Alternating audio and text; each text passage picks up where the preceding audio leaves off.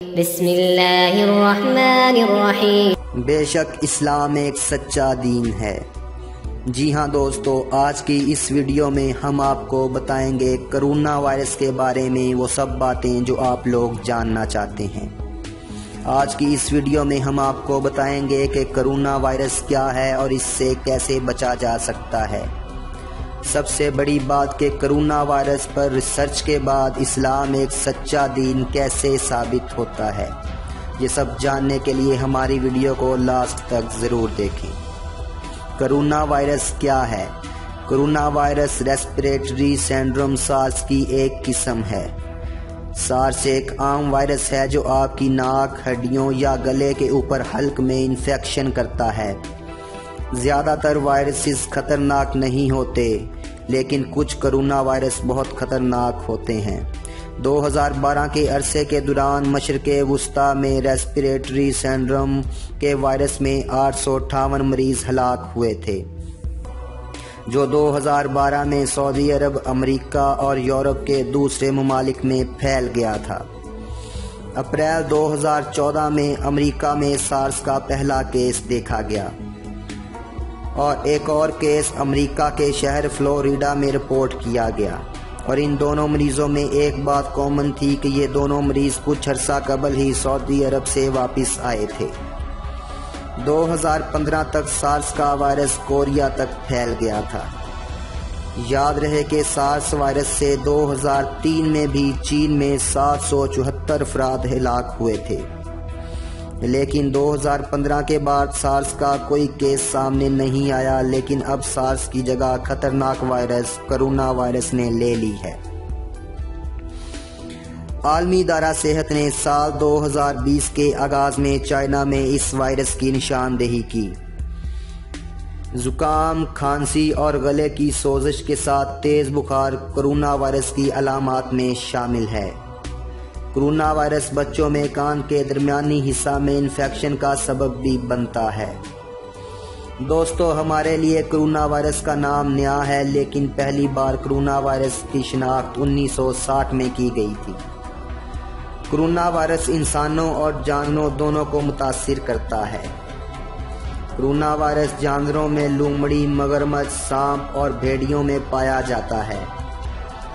اور انسانوں میں کرونا وائرس کی منتقلی انہیں کھانے اور چھونے سے بھی ہو رہی ہے۔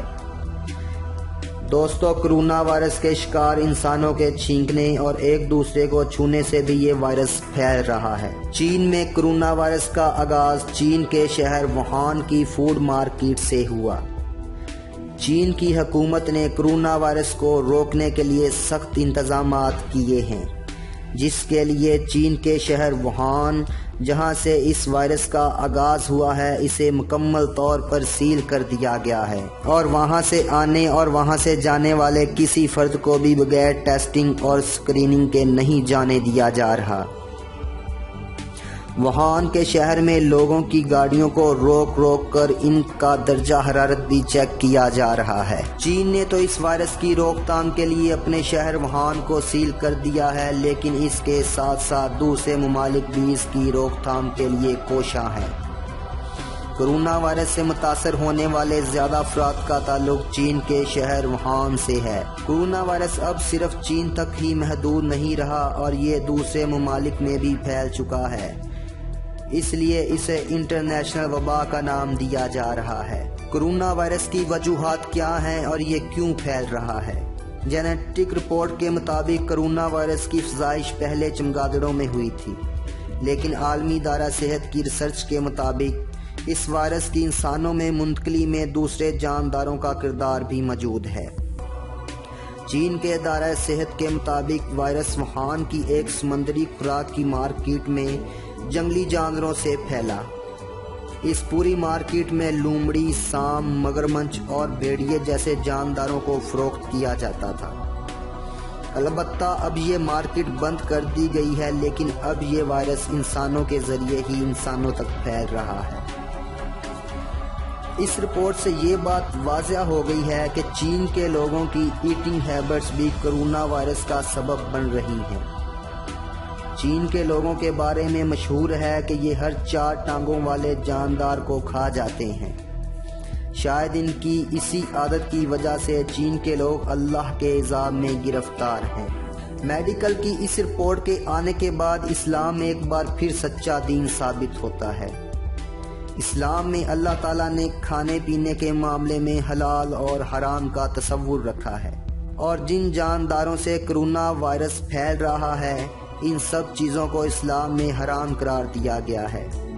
اسی لیے کسی بھی صاحب ایمان انسان پر کرونا وائرس کا حملہ کرنا بہت مشکل ہے۔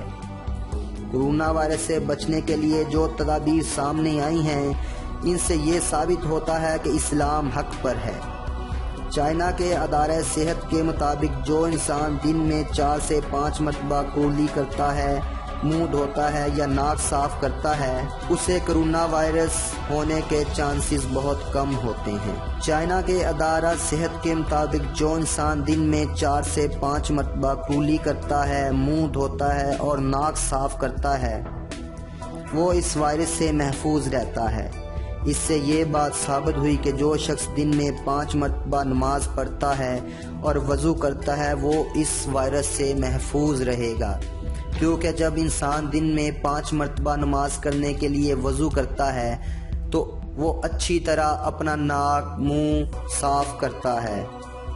اللہ تعالیٰ سے دعا ہے کہ وہ ہمیں دین کے رستے پر رکھے اور رزق حلال عطا فرمائے۔